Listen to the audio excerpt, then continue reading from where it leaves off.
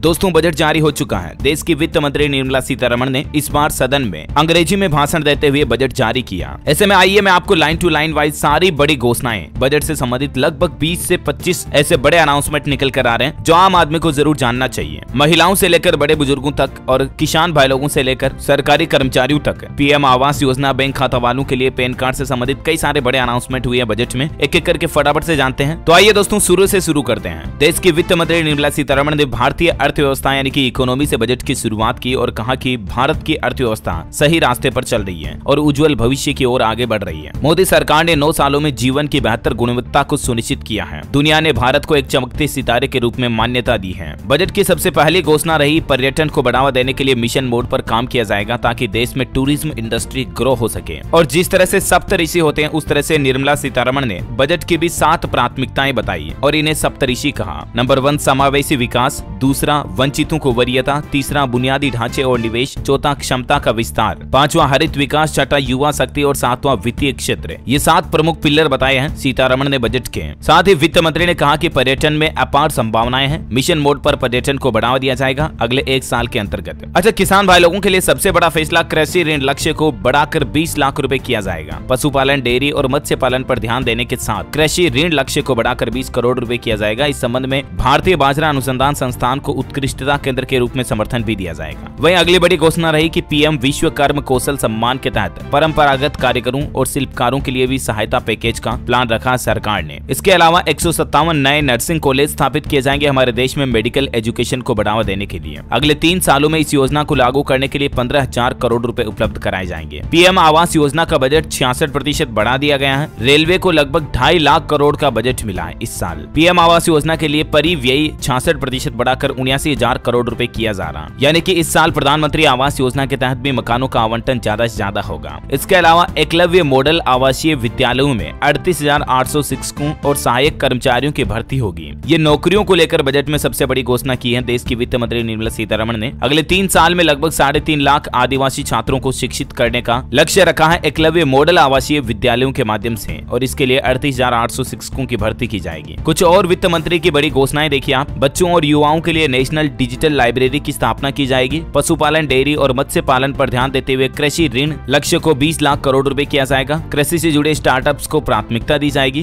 2014 से बने मौजूदा एक सौ सत्तावन मेडिकल कॉलेजों के साथ साथ कोलेकेशन में भी एक सौ सत्तावन नए नर्सिंग कॉलेज स्थापित किए जाएँगे। पीएम आवास योजना के खर्च को छियासठ प्रतिशत बढ़ा दिया, मैंने आपको बताया। और देश में पचास नए एयरपोर्ट भी बनाए जाएँगे। इसके अलावा सभी शहरों और कस्बों में सेप्टिक टैंक और सीवरों की सफ़ाई 100 परसेंट मशीनरी के ज़रिए होगी क्योंकि अक्सर सेप्टिक टैंक की सफ़ाई करते दौरान कर्मचारियों की मजदूरों की जान चली जाती है। तो अब इसमें परमानेंट मशीनरी का इस्तेमाल होगा। मेन होल से मशीन होल मोड में ट्रांसफ़र होगी सभी नगर पालिकाएँ देश के सभी शहरों और कस्बों में septic tank sewer hundred technology आरोप आधारित होंगे। वैसे टेक्नोलॉजी को लेकर एक और बड़ी घोषणा की है आर्टिफिशियल इंटेलिजेंस यानी कि एआई की पढ़ाई के लिए हमारे देश में तीन बड़े सेंटर ऑफ़ एक्सीलेंस खोले जाएँगे, जिससे कि देश में आर्टिफिशियल इंटेलिजेंस एडवांस टेक्नोलॉजी की स्टडी कर पाए बच्चे बच्चे देश के युवा। अच्छा साथ ही मुक्त खाद्यान्न योजना को सरकार ने एक साल तक के लिए ऑलरेडी बढ़ा दिया है। इसका भी ज़िक्र किया देश की वित्त मंत्री सीतारमण जी ने बजट में। देश के विकास पर एक बड़ा अनाउंसमेंट किया, पचास नए हवाई अड्डे बनाए जाएँगे, हेलीपैड वाटर एरोड्रोन और उन्नत लैंडिंग ग्राउंड भी बनाए जाएँगे, ताकि देश में क्षेत्रीय हवाई संपर्क में सुधार हो सके। इसके अलावा राज्य सरकारों को दिए जाने वाले पचास साल का ब्याज मुक्त ऋण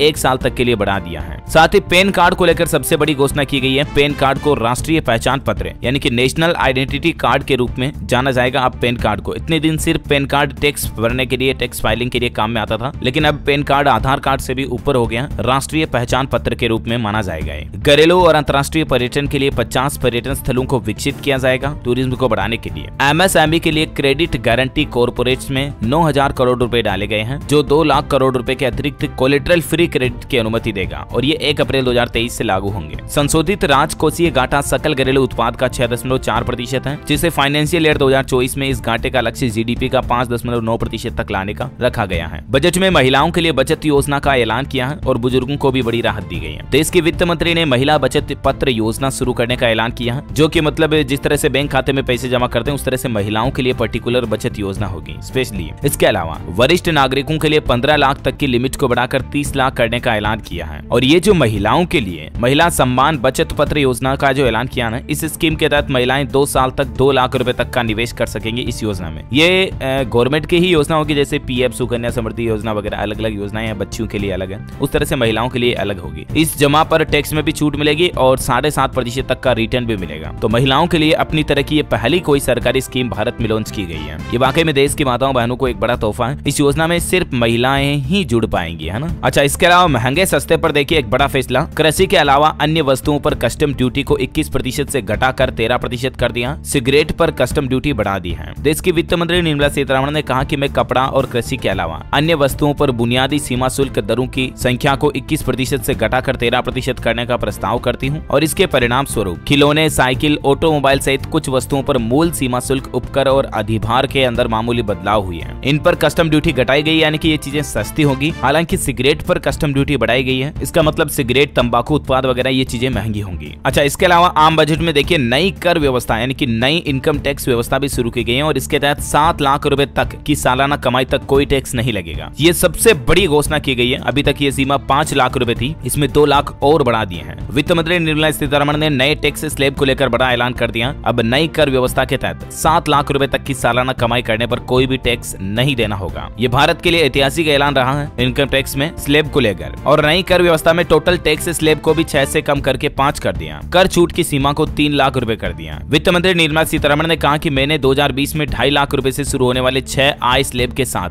नई व्यक्तिगत आयकर व्यवस्था की शुरुआत की और मैं इस व्यवस्था के कर ढांचे को बदलने का प्रस्ताव करती हूँ। स्लेब की संख्या को घटाकर पाँच कर दिया और कर छूट की सीमा को बढ़ाकर तीन लाख रूपए कर दिया। अभी मतलब दोस्तों मिनिमम टैक्स स्लेब जो है ना, वो ढाई लाख रूपए से शुरू होता है। तो उस मिनिमम टैक्स स्लेब को तीन लाख रूपए कर दिया। तीन लाख रुपए से नीचे तो बिल्कुल भी टैक्स नहीं देना पड़ेगा। और उसके बाद नई कर व्यवस्था के तहत सात लाख रूपए तक सालाना कमाई तक भी आपको ज़ीरो टैक्स ही देना पड़ेगा। अब नए टैक्स स्लेब किस तरह से होंगे देख सकते हैं आप। ज़ीरो से तीन लाख रुपए तक की कमाई पर ज़ीरो परसेंट टैक्स लगेगा। तीन से छह लाख रूपए तक पाँच परसेंट टैक्स देना पड़ेगा और फिर छह लाख से नौ लाख तक दस परसेंट टैक्स लगेगा। ये नया टैक्स स्लेब जारी कर दिया सरकार ने। पहले ढाई, साढ़े सात वगैरह के रेशियो में रहते थे तो उनको हटा करके सीधा छह से नौ नौ से बारह, पंद्रह से ऊपर तक तीस परसेंट टैक्स देना पड़ेगा। तो ये नया इनकम टैक्स स्लेब की भी घोषणा कर दी है। अच्छा और बाकी महँगा सस्ता को लेकर, जैसा कि मैंने आपको बताया, टैक्स स्लेब में तो बदलाव किया। टीवी, मोबाइल फ़ोन और इलेक्ट्रिक वाहन वगैरह भी सस्ते होंगे, क्योंकि इन पर कस्टम ड्यूटी वगैरह में कटौती की गई है। मोबाइल और टीवी के दाम सस्ते होंगे। अच्छा इसके अलावा दोस्तों, युवाओं के लिए भी बजट में बड़ी घोषणा की गई है। अलग अलग राज्यों में तीस स्किल इंडिया इंटरनेशनल सेंटर स्थापित किए जाएँगे। बाकी और भी कुछ बड़े बजट के हाईलाइट्स और पॉइंट्स हैं, मैं आपको इसी चैनल डीएलएस न्यूज़ के ऊपर एक पार्ट टू वीडियो में बता दूँगा, क्योंकि अभी ये बहुत ज़्यादा लंबा हो जाएगा वीडियो वैसे तो इसमें लगभग सारे नब्बे कवर हो गए लेकिन इसके अलावा भी बजट में जैसे क्या सस्ता हुआ, क्या महँगा हुआ, महिलाओं के लिए पर्टिकुलर क्या घोषणा, युवाओं के लिए क्या घोषणा, बुज़ुर्गों के लिए क्या घोषणा, इनके अलग अलग सेपरेट छोटे छोटे वीडियो में आपको बता दूँगा डीएलएस न्यूज़ के ऊपर तो उनको आप चेक कर लीजिएगा ओके और वे बजट से संबंधित कोई आपके मन में सवाल जवाब है तो कमेंट करके पूछेगा मैं रिप्लाई करने की ज़रूर कोशिश करूँगा इस वीडियो को लाइक और शेयर करना टीएलएस न्यूज़ चैनल को सब्सक्राइब करके बेलाइकोन ज़रूर दबा देना। जय हिंद, जय भारत, वंदे मातरम।